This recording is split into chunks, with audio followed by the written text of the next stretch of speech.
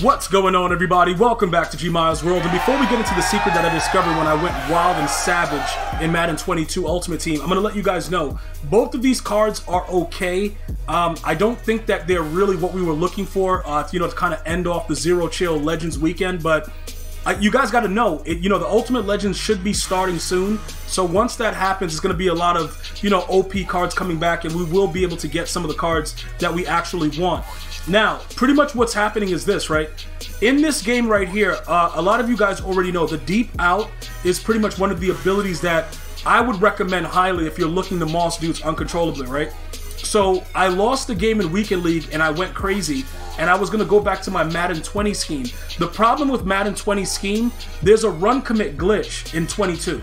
So if you play somebody that knows how to do that, they can stop every run and it doesn't matter, with the exception of the pistol runs. Like certain pistol runs, you run commit and, and it's automatically six, right? But for the most part, you're gonna play a lot of people that know what the run commit glitch is. So we can't really get away with running stretch the way that we did back in Madden 20. So what did I do, right, when I went crazy?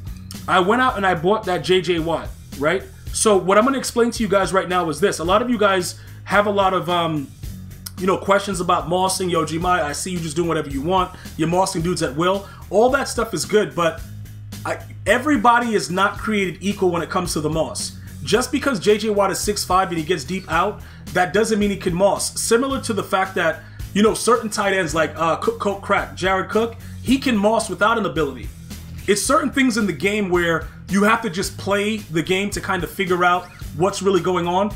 Keep in mind though, if you're somebody that's just starting to get used to Madden and you're like, you know, what's this whole Moss thing? What's going on? You got to just watch some of the live streams, whether it's Twitch, uh, here at Gmias World on YouTube, or Gmias World Gaming. Just look at the gameplays that I put out because pretty much I'm coming out and I'm looking to moss you. So you'll be able to see what's going on. Most people, you know, pretty much knows what it is at this point, but we look for a certain type of uh, attribute and we look for a certain type of situation uh, with the player itself. So what I'm going to do right now is I'm going to explain to you guys, explain to you guys why JJ Watt is trash, right?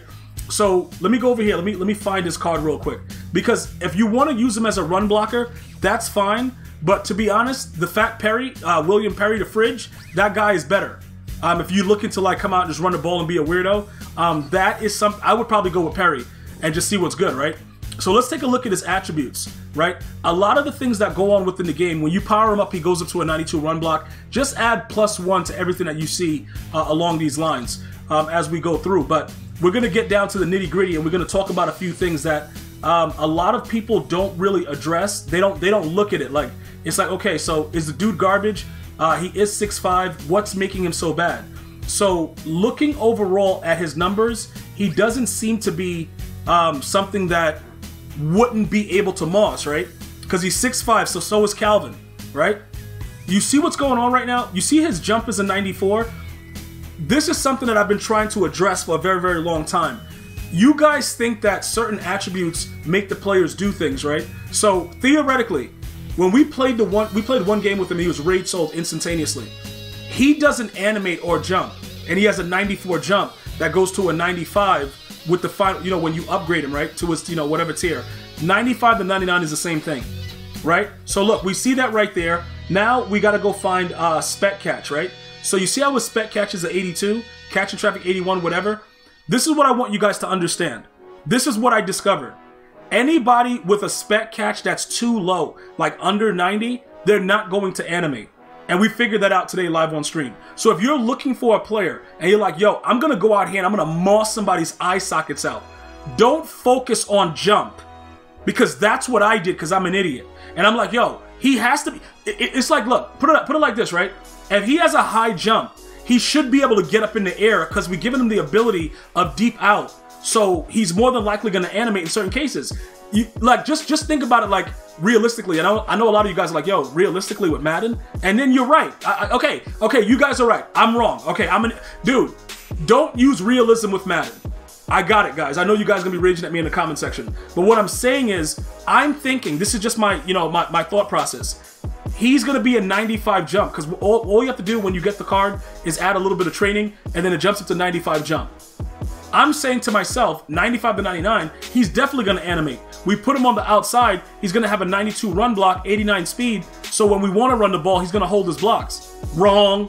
Wrong. May Charlie Murphy rest in peace. What happened was this, right?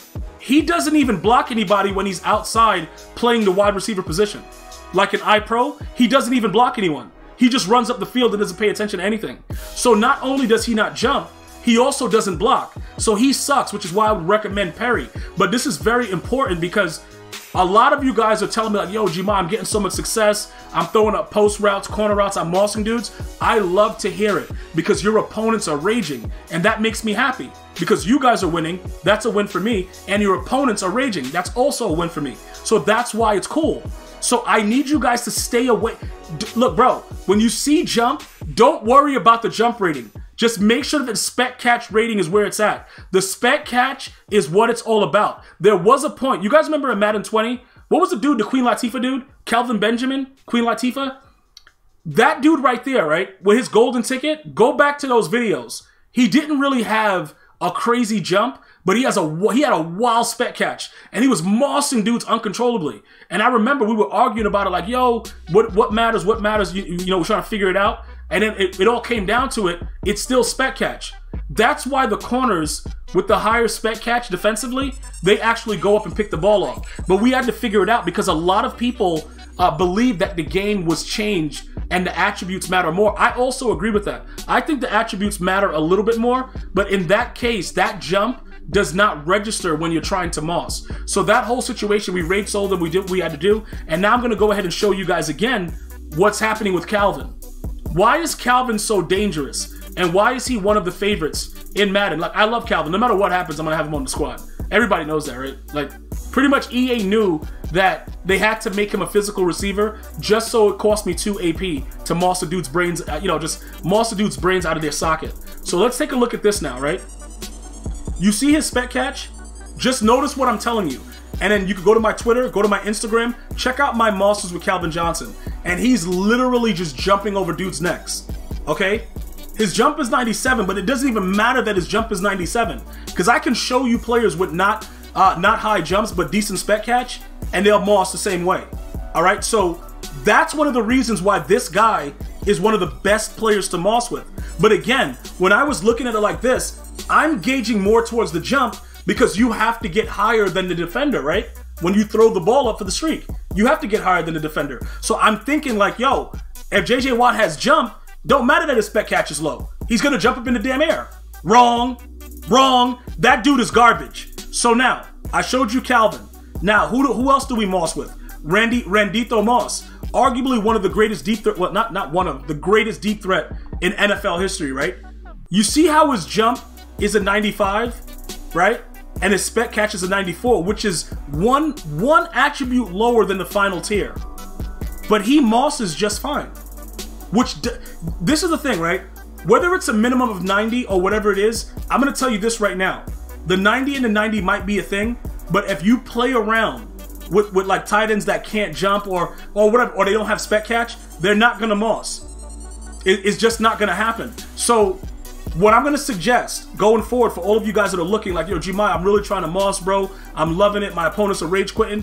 What I'm going to recommend is that you guys take a look at the cards that, you know, very, very closely with the jump because look, certain tight ends, they're gonna trick you, dude. Like this guy's jump is a 94, right? What is his spec catch? 91. So it could be that the 90 is what you're looking for on both as a minimum to be able to get the animations. And a lot of the players, like Kyle Dig Out Your Girl's Pits, he's an exception to the rule.